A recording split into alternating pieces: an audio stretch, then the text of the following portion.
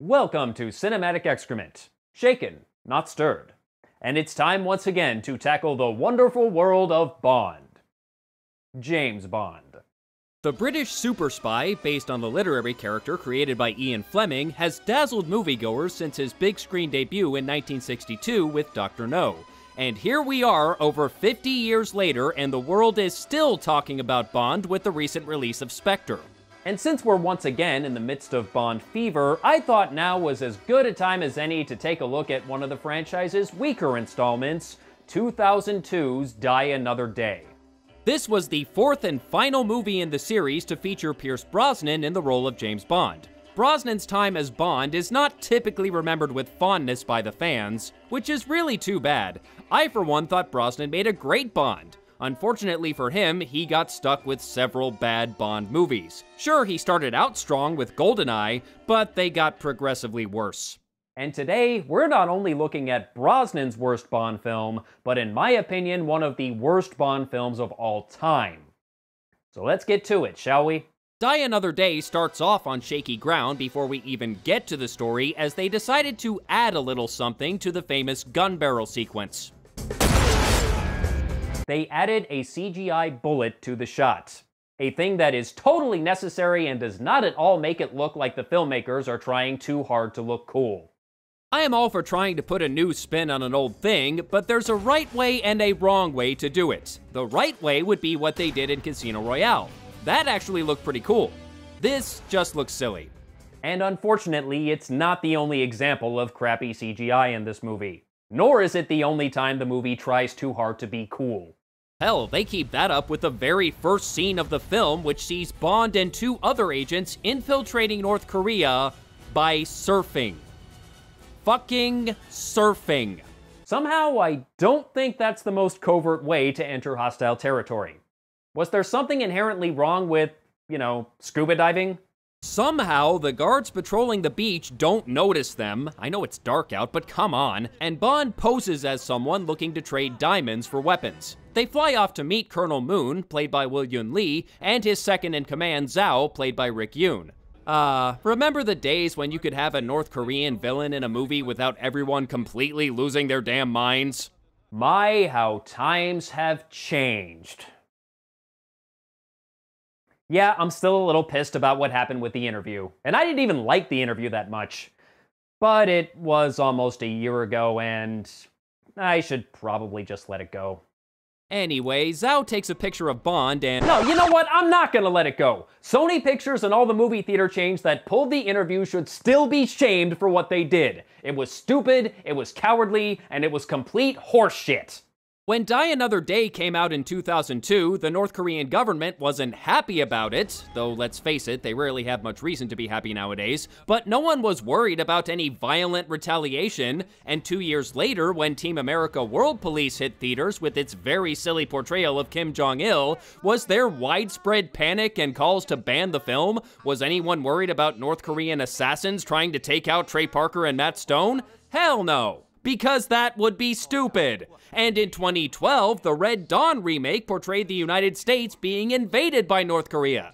This was, of course, completely ridiculous, and it only happened because of a last minute change. The invaders were originally going to be Chinese, but the studio ordered the change when they realized they could potentially lose a lot of money by alienating Chinese moviegoers. But again, no one was worried about any meaningful retaliation from North Korea. But some mysterious computer hackers get pissy about a couple of stoners making a stupid comedy about assassinating Kim Jong un, and suddenly everyone in Hollywood considers North Korea a credible threat? Now they're seriously worried about terrorist attacks on movie theaters by angry militants from Best Korea? Even when President Barack Obama himself told them they were overreacting. No way, I am not letting this go. No one should let this go. We should all remember just how stupid this was in order to ensure it does not happen again. Ever.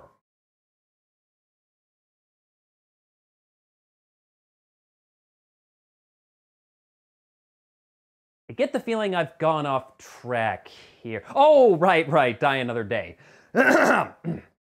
so, Zhao takes a picture of Bond and sends it to their contact in the West, who identifies Bond and blows his cover. Colonel Moon responds by blowing some shit up and taking Bond captive.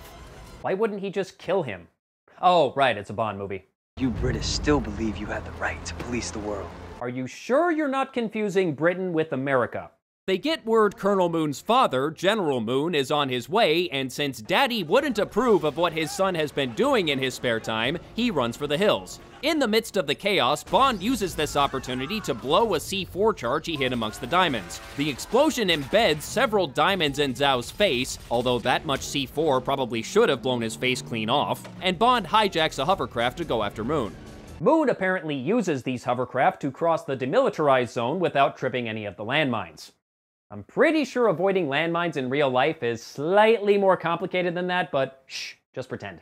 What follows is a chase scene with damn near everything exploding, even things that seemingly have no reason to explode. Did Michael Bay direct this? The chase ends when Bond finds his way onto Colonel Moon's hovercraft and runs it off a cliff, barely escaping with his own life. Saved by the bell. But he's immediately captured by General Moon, which leads into our opening title sequence. As far as James Bond opening title sequences go, I suppose it's okay. It was a neat idea to have the title sequence actually depict part of the plot instead of just being its own separate thing. To date, it's the only time they've done this. Unfortunately, it's marred by what is hands down the worst Bond theme song ever Madonna's Die Another Day. While I'm not a huge fan, I normally don't have a problem with Madonna's music, but this is just awful. The lyrics are complete nonsense, the production is headache inducing, and there is way too much auto tune. Why in God's name would you ever auto tune Madonna? She can actually sing, you know. She's been doing it for many years, she's quite good at it. Bond spends 14 months in captivity, which is rather surprising considering how easily he has escaped his captors in the past, but whatever. I don't condone what they do here. But I allowed it to go on for the last 14 months because.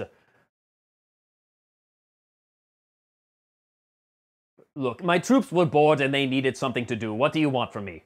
After all this time, it appears the Koreans have become sick of Bond and are prepared to execute him. But Bond quickly discovers he is not about to be killed, but traded. For Zhao. And he still has the diamonds in his face? How hard can it really be to pluck those things out? Bond is taken onto a naval vessel, and doctors analyze his health with some weird laser doohickey.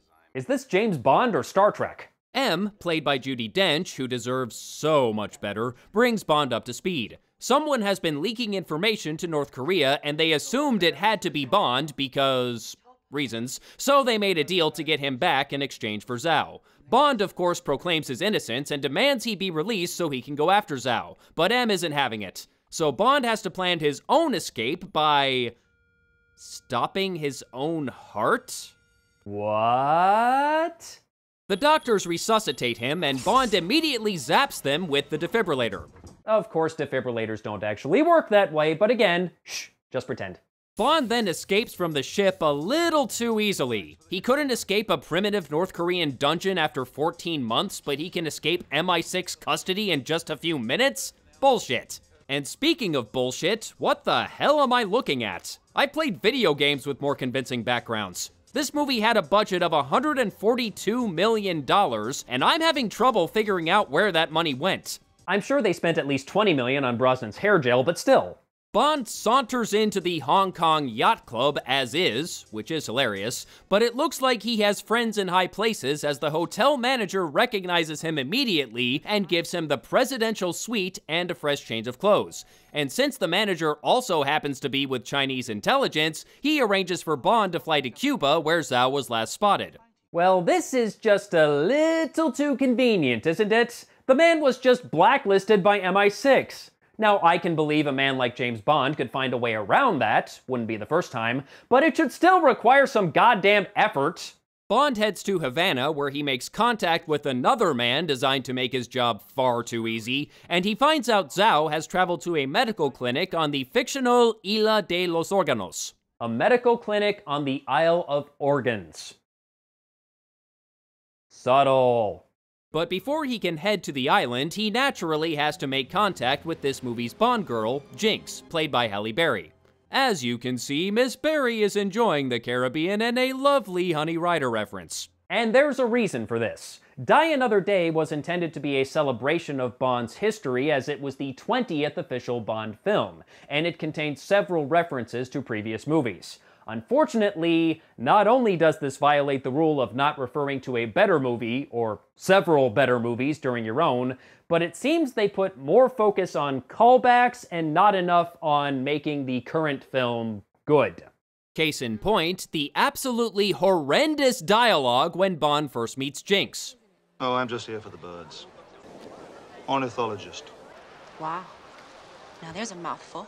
Get it? It's funny because she said there's a mouthful while looking at his penis.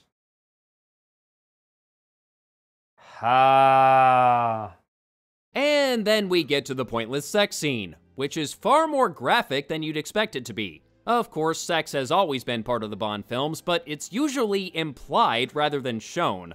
It is pretty tame by today's standards, especially for, say, the average Game of Thrones viewer, but for a Bond movie, it just feels out of place.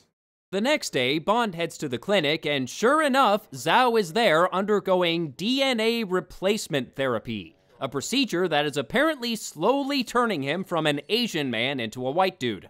And if you think that sounds ridiculous, you're right, it is, but it gets worse. Do you know how this extremely delicate and complicated medical procedure that replaces a person's entire DNA makeup is done? Bone marrow transplant.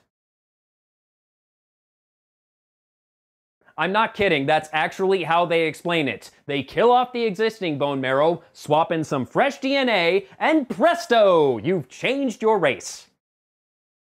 And to think, all this time Rachel Dolezal has been doing it the hard way. This is so stupid, I hardly know where to begin. If you kill off a person's bone marrow, one of two things will happen. A, that person will die, or B, that person will fucking die. And simply replacing bone marrow isn't nearly enough to change a person's DNA. DNA exists in every part of your body, not just the bone marrow. For the love of God, Moonraker was more scientifically sound than Die Another Day. And that is saying something. Oh, and the cherry on top of this sundae of ridiculousness? Zhao still has the diamonds in his face. Why? If he's trying to change his identity, shouldn't removing the diamonds be step one? There aren't exactly a lot of people just walking around with face diamonds. Even if they somehow turn him into a white guy, they're still gonna be able to pick him out of a crowd. Zhao manages to get away from Bond, but what's this? Jinx is also on the island looking for Zhao. Unbeknownst to Bond, she's with the NSA. Unfortunately, she also fails to kill Zhao and she's cornered by the guards. But she escapes by diving off the wall? And a boat is just waiting for her down below? Okay, one, that was a terrible special effect. Two, at that height, even if she hits the water, the impact is still probably going to kill her. At the very least, she's not going to be able to just swim away like nothing happened. And three, the boat was there waiting for her? So this was her escape plan all along? Hang on to your hats, folks. We have just hit DerpCon 3. Bond manages to snag a trinket off of Zhao before he escapes, and inside he finds diamonds. With the help of his Cuban contact, he learns they belong to a man named Gustav Graves, played by Toby Stephens. But apart from his laser signature, the diamonds are identical to African conflict diamonds. What an amazing coincidence. Since Graves is scheduled to be knighted, because reasons, Bond takes a flight on product placement airlines back to the UK. Despite being on an MI6 watch list, it is apparently just that easy for him to return to his home country. I'm starting to think Bond's status as a super spy is less because of his own skills and abilities and more because everyone around him is incompetent. Bond witnesses Graves arriving at Buckingham Palace by skydiving in, with a not at all subtle reference to The Spy Who Loved Me, and it seems a bit unlikely that the Queen would allow him to do such a thing, knighthood or not. Hell, the filmmakers had to move heaven and earth just to film this scene. The official story on Mr. Graves is he was an orphan working in an Argentinian diamond mine, and at some point within the last year, he discovered diamonds in Iceland. He then immigrated to the UK and already speaks with a perfect English accent. Sounds legit. As we discover later in the film, and as you may have already guessed, Gustav Graves is not what he seems. He is, in fact, Colonel Moon, who has gone through the same DNA replacement therapy that Zhao was in the middle of before he was rudely interrupted by Bond. This blows my mind on so many levels. Even if we accept that Moon somehow survived his fall at the beginning of the film, how did he go through the DNA replacement process, change his legal identity, set up a fake diamond mine in Iceland, become a British citizen, and earn a knighthood all in the span of 14 months? One would think the Crown would do some research on the man they plan to knight and would raise a few eyebrows when they discover he didn't exist until about a year ago. I could understand if Graves was actually a real person and Moon assumed his identity and killed or otherwise eliminated the real Graves, similar to what Blofeld did in Diamonds Are Forever, but that's not what they did here. And given this movie's penchant for referencing older Bond films, I'm kinda surprised they didn't go in that direction. And why did Moon go through the trouble of DNA replacement therapy when plastic surgery would have been much simpler and accomplished the same thing? Again, it worked for Blofeld. Twice, in fact. Methinks the filmmakers would have been better off by remembering the KISS principle. Keep it simple, stupid. Bond eventually meets up with Graves at a fencing club, along with his assistant, Miranda Frost, played by future Oscar nominee Rosamund Pike. This was her film debut, by the way. It's a miracle her career lasted long enough to get to Gone Girl. Bond challenges Graves to a friendly wager using one of the diamonds he took from Zhao. Then diamonds are for everyone. Oh, shut up. And while it starts off as a regular fencing match, it quickly escalates to first blood from the torso. Well, that's what they say it is, but they're clearly well beyond that. They're trying to murder each other. And everyone else just stands by and watches in horror as they destroy the club and recklessly endanger several innocent bystanders. And of course, no one thinks to call the police because, well, that would just be silly. I will give Brosnan and Stephens credit for doing most of the stunt work in this scene, but even their best efforts can't prevent it from looking completely ridiculous. After nearly killing each other, Bond and Graves are suddenly best friends, because why not? And Graves invites Bond to the unveiling of his latest invention in Iceland. I expect the pleasure of you in Iceland. I'm afraid you'll never have that pleasure, Mr. Bond. Ooh, how cold.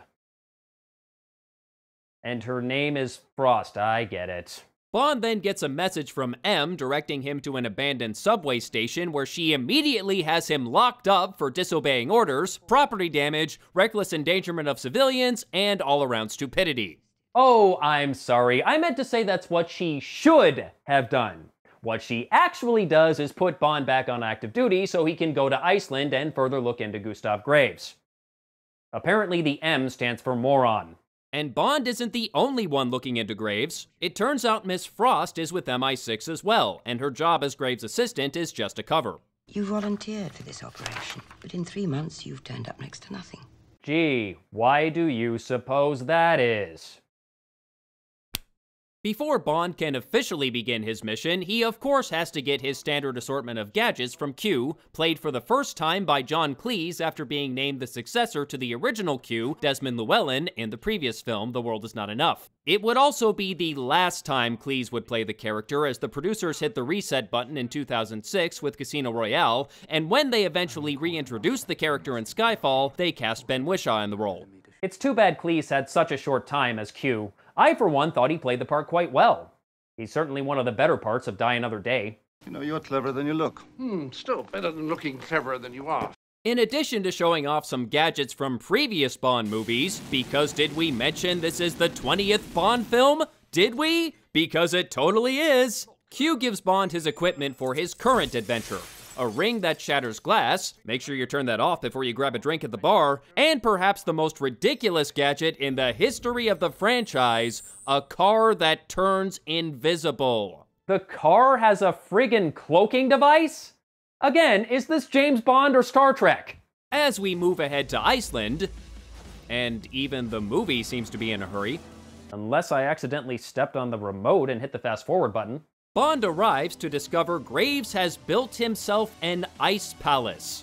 Because when you have as much money as he does, who's gonna tell you no? I'm Mr. Kill. Come again? I'm Mr. Kill. Mr. Kill. His name is Mr. Kill. That's just dumb.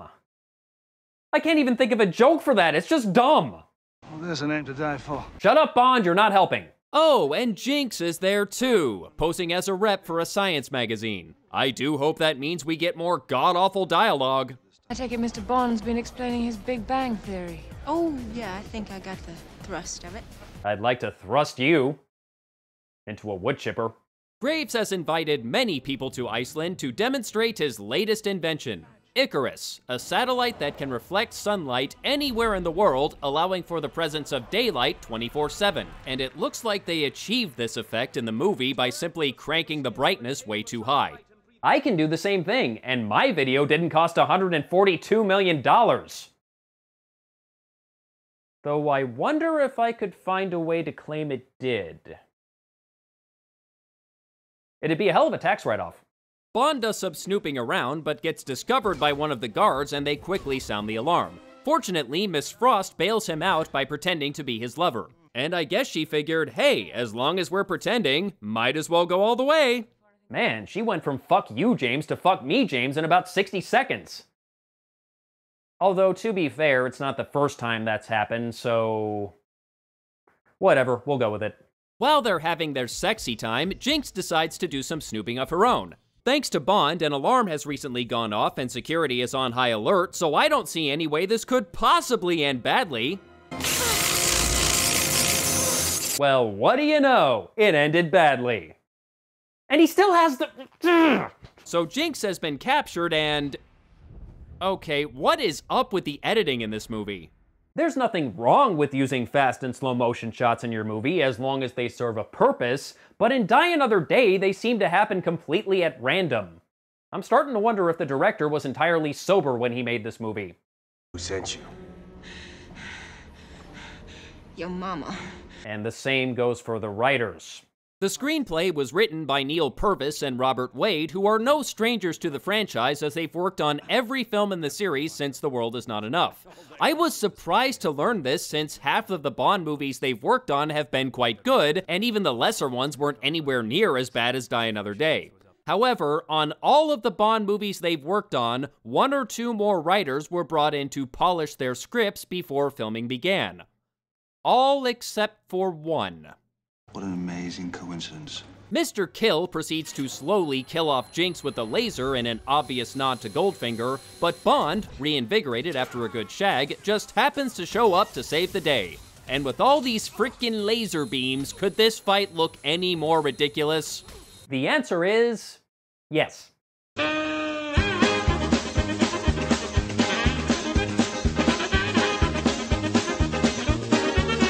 With Mr. Kill, uh, killed, Jinx heads back to the Ice Palace to warn Frost to get out while Bond goes after Graves. But it turns out Frost is already in Graves' office. Unfortunately for Bond. It's a trap! Yep, Frost is North Korea's MI6 mole. Surprise, surprise. I'd explain why she's the mole, but the explanation is stupid and you don't care anyway, so let's move on. While Jinx is trapped in the Ice Palace, Graves goes through the traditional explain my master plan just before I kill you, Mr. Bond speech, and since they're conveniently standing on a glass floor, Bond uses his sonic ring to escape. They then proceed to shoot their rather noisy machine guns at Bond, and when he hijacks Graves' ice dragster, Graves reveals the true purpose of Icarus, using the power of the sun as a weapon. This is your idea of killing him quietly? I think they can hear you in Australia. Bond dangles over the edge of a cliff in an incredibly cheap looking special effect, and then surfs his way to freedom in an absolutely dreadful CGI sequence. This movie came out the same year as The Two Towers. How are the effects this bad? To cut a long car chase short, Graves attempts to kill Jinx by melting the Ice Palace and drowning her, because shooting her is out of the question for some reason, but Bond rescues her and kills Zhao by dropping a chandelier on him. Or in front of him. Graves escapes to. um. Pyongyang. Even on the Blu ray, they still haven't fixed that mistake. So Bond and Jinx are sent after him by M and Jinx's NSA boss, played by Michael Madsen, who's clearly just here for the paycheck as he's not even trying to show an ounce of emotion. Just in case you thought his performance in Uwe Boll's BloodRayne was a fluke. After parachuting into North Korea, what? Did they run out of surfboards? They stow away on Graves' plane, and Jinx sneaks into the cockpit while the pilot goes off to the lavatory. We never see that pilot again, by the way. I guess he really had to go. While Jinx takes control of the plane, Bond goes after Graves, who, by the power of Connery's toupee, what is he wearing? Ladies and gentlemen, I give you Robo-Dork. Someone was paid to design that costume. Graves is showing his father how Icarus can easily clear the minefield in the DMZ to clear a path for an invasion of South Korea. The general, however, is not at all pleased with his son's actions, prompting Graves to kill him with a terrible slow motion effect. Bond tries to take out Graves, but accidentally shoots the window in another tribute to Goldfinger, which leads to everyone but Graves and Bond getting sucked out of the plane. Jinx manages to stabilize the plane, but she's caught by. Okay, now what the fuck is she wearing? Somehow, I don't think that's appropriate fencing gear. Jinx puts the plane on autopilot and flies it right through the Icarus beam, which somehow doesn't completely destroy the plane, but it's definitely not going to stay in the air much longer. She takes out Frost without too much trouble, but Bond seems to be having worse luck with Graves. Oh look! Parachutes for the both of us! Whoops! Did you seriously only stock two parachutes on the entire plane? Come on, Graves. Even if you're a megalomaniac bent on world domination, safety should always be priority number one. But the parachute proves to be his own undoing, and as Graves goes through the engine, Icarus is deactivated and the world is saved. Well, we just came inches away from annihilation. I see no reason to have a reaction. And Bond and Jinx escape in a helicopter and celebrate their victory by banging on a pile of diamonds, which sounds terribly uncomfortable. So that's Die Another Day it kind of sucks.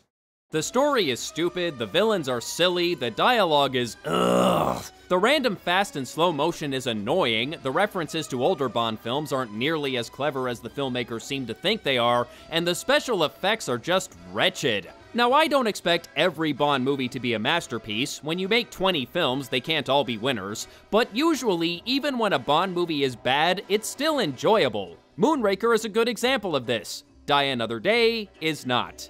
It's just plain terrible. I know many people will disagree with me on this one. The film did get several positive reviews upon release, and it was the highest grossing Bond film at the time. But it has received its fair share of criticism as well, so I'm not alone. Among the film's critics was former James Bond actor Roger Moore, who blasted the terrible CGI and the invisible car in particular. I thought it just went too far. And that's from me, the first Bond in space. He's right. Do you know that? In any case, the movie's reception apparently wasn't as good as the producers were hoping for since they rebooted the series with Daniel Craig for the next movie. The studio also dropped plans for a spin off movie based on Halle Berry's Jinx character, presumably once the cocaine wore off, and they asked themselves, wait, why are we making a Jinx movie? Was anyone asking for this? If you're a fan of this movie, fine. You're certainly not alone. But in this reviewer's not so humble opinion, Die Another Day represents the worst of the Bond series and is best left forgotten. It's a shame this was Pierce Brosnan's exit from the franchise. He deserved better. That's all for today. And with the holidays coming up, I think I'm about due for a vacation. To someplace far, far away. Until next time, I am the Smeghead, and Hollywood can suck it.